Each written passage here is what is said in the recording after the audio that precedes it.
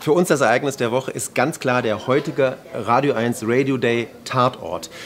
Den ganzen Tag Krimi bei Radio 1 von 9 bis 21 Uhr.